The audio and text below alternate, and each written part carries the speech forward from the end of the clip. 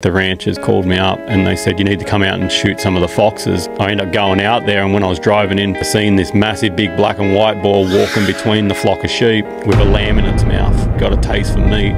Big boar will get a taste for meat in harsher conditions and they'll just stick to meat after that. I ended up catching up with this pig the next morning and shot it with the bow.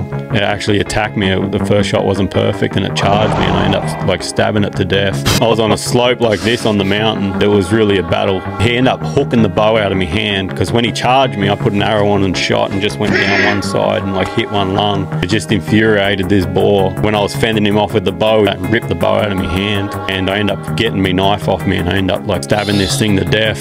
When I end up cutting it open, its whole stomach was like lamb's hocks, like the bottom of the feet where they can't swallow and skulls, little bits of wool and stuff like that. Wow. He'd just been going around and just picking these lambs off and killing them.